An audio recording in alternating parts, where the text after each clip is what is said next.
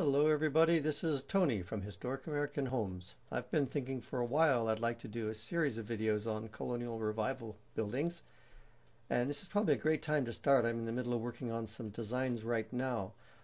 There's a whole range of individual detailed subjects like exterior colors or window shutters that can make or break a colonial revival design and more often than not break them.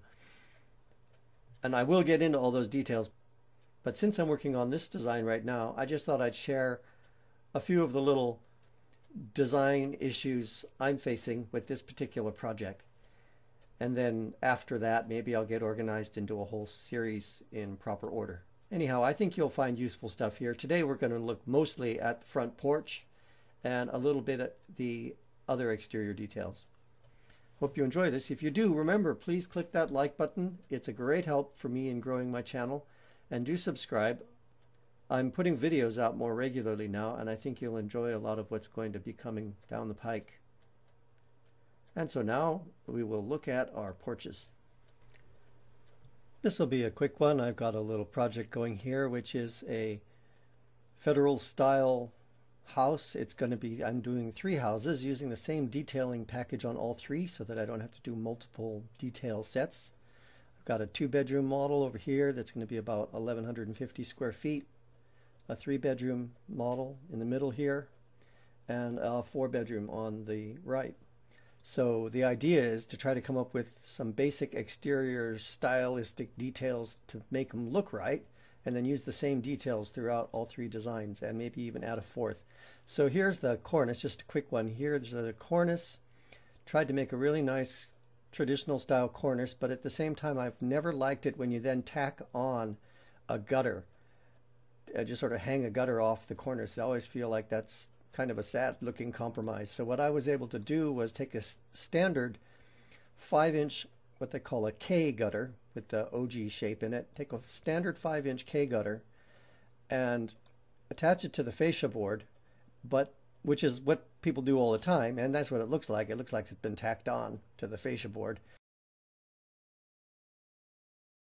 But by adding this little, what they call a bed mold under it, I can unify it into a properly designed cornice so that it all becomes one composition and the, and the actual gutter doesn't look like it was just tacked on afterwards as an afterthought.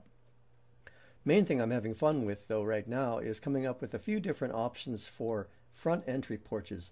I started with this, which was something I had made years ago by the book Tuscan. In fact, I think it might have been an exact copy of Vignola's Tuscan Order. I don't remember for sure. It's quite a few years back. But I made this and I looked at it and I thought it looks too heavy for this house. And I realized that with the wood siding and all, this was based on stone architecture, and the proportions from Vignola are based on stone architecture. But if you look at a lot of the colonial and colonial revival houses that have porches, the porches are built in wood, and they very often lightened the proportions considerably. If you take a look at the porch on the right here, you know, when you're transferring these proportions from stone to wood, you can get away with lightening them up quite a bit because when you read it as wood, it feels right for it to be lighter. So I went ahead and revised this. I made a, a lighter version of it. I should say these columns, the height of the column is seven times the base diameter, which is standard for Tuscan. I increased it to almost 10. So I've got a 10 inch base and an 8 foot tall column, 96 inch tall column. So that's almost a 1 to 10 proportion for the column. I kept the profile the same. And then I also lightened the whole architrave arrangement at the top. Small post-production correction here. I should not have been saying architrave. I should have been saying entablature.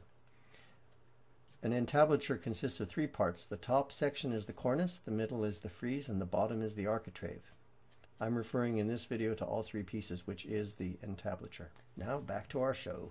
The original was two column diameters gives you the total height of the architrave, and I kept that concept of the two column diameters, but since the column diameter got smaller for the overall height, so did the architrave.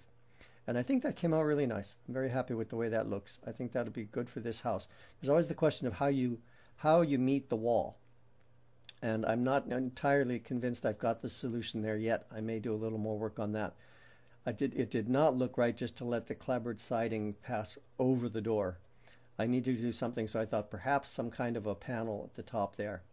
There'll need to be some lighting. The lighting could go above, but it could also be a decorative fixture hung from here. Anyway, that's the refinement I'll come back to later. So now I'm working on a larger, more elaborate version for the larger, more elaborate house. And I went ahead and I wanted to do something deeper that would actually have room enough to put a little bench on either side. But to just simply widen the whole thing and keep a single column looked ridiculous. It was way too wide with just a single column at each end. So I tried this approach of doubling the columns. I think that looks pretty good. I've got details left to work out here. The first pass at doubling the columns didn't quite work. I ended up um, increasing the weight of the columns again a little bit. So I went from, I kept the 10 inch diameter, but I reduced the height to 7 feet so now we're talking about about one to eight and a half for the column proportions. And then let's see what else. Well, again, I'm going to have to deal with how it meets the wall. And obviously this is not the final solution yet. And we also have a problem with the conflict in the top corners where the architraves intersect the trim around the door opening. So I've got to figure out what I'm going to do about that. I could just make the whole thing a few inches wider. I think I could get away with that. I'm limited as to how high I can go because there's a window up above, although there is a possibility that I could raise the sill on that window and maybe even replace it. Since I've got this arch here, I might replace it with an arched window with a little higher sill. I think that would be probably a good move since this is the only curve in the entire facade and I probably need to echo that curve somewhere. So these are the porches I'm working on. When it's all done, I'll let you know and I'll share with you the floor plans as well. The rest of this video is going to be a live modeling session. I just continued working and worked out most of the issues I had mentioned previously that I had not yet resolved. I've got everything worked out really nicely and I'm very happy with the final results. So if you want to see that, just keep on watching.